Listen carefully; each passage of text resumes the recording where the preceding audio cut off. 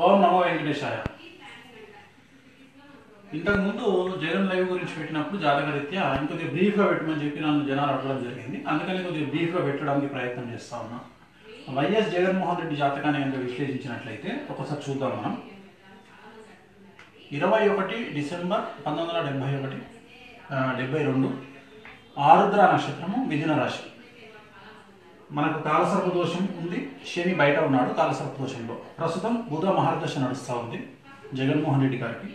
జాతరీత్యా లగ్నంలో కుజుడు ఉన్నాడు. లగ్నంలో కుజుడు అనేటువంటి వాడు వ్యాపారాన్ని ఇస్తాడు అధికంగా డబ్బుని ఇస్తాడు ల్యాండ్స్ని ఇస్తాడు ప్రాపర్టీస్ని ఇస్తాడు అవన్నీ జగన్మోహన్ రెడ్డి గారి గురించి మనకు తెలిసిన విషయమే.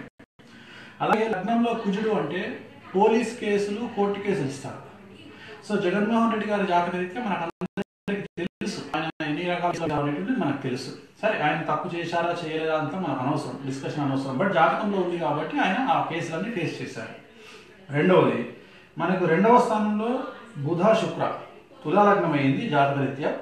రెండవ స్థానంలో బుధ శుక్ర. బుధుడు ఉచ్చలో ఉన్నాడు శుక్రుడు ఉచ్చలో ఉన్నాడు.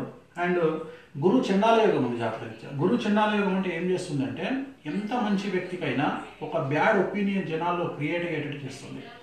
మన రెండు వేల పద్నాలుగు ఎలక్షన్లలో కూడా జనాలందరికీ కూడా జగన్మోహన్ రెడ్డి పైన ఒక నెగిటివ్ ప్రచారానికి కొంతమంది చేసినటువంటి ప్రచారం సక్సెస్ అయ్యి ఆయన రాకుండా అవ్వడం జరిగింది. అలాగే ఇప్పుడు కూడా తీసుకుంటే ఇప్పుడు నిన్న జగన్మోహన్ రెడ్డి గారు విశాఖపట్నంలో జరిగిన డ్రామాను తీసుకుంటే ఆయన ఏదో ఒక మాట అన్నాడని చెప్పేసి సీఎం నేను సీఎం అవుతా రెండు సంవత్సరాల చూసుకుంటా అనే ఒక చిన్న మాట. సహజంగా ఆ మాట ఎవరైనా అంటారు. ఇంతకుముందు చాలామంది మాట్లాడారు. అసలు పార్టీ పెట్టింది సీఎం కాకపోతే సీఎం అవ్వడానికి తప్ప గల్లీ లీడర్ కావడానికి కాదు కదా. ఒక సర్పంచ్ అవ్వడానికి కాదు కదా ఒక వ్యక్తి. పార్టీ పెట్టి డెబ్బై ఆరు మంది ఎమ్మెల్యేలను పోగు చేసుకున్నాడు అంటే సీఎం అవ్వడానికి కాదు. అందరికీ తెలుసు. ఆ మాట చెప్పడం తప్పు అనేటువంటిది కాదు. కానీ ఆ మాట తప్పు అని కొంతమంది చేసే ప్రచారము నిజమయ్యే అవకాశం ఉంది. అంటే అది తప్పుగా జనాల్లోకి వెళ్తుంది. అదే జగన్మోహన్ రెడ్డి గారి జాతకం. ఇక్కడ జగన్మోహన్ రెడ్డి గారి జాతక రీత్యా ఆయనకు బ్యాడ్ వస్తుంది తప్ప వ్యక్తిగతంగా జగన్మోహన్ రెడ్డి బ్యాడ్ కాదు. అంటే ఆయన జాతకంలో ఉన్నటువంటి గురు చండాల యుగం రాహువు గురువు కలిసి ఉంటాయి రాహువు అనేవాడు వక్రబుద్ధి గలవాడు గురువు అనేవాడు పేరు తెచ్చేవాడు.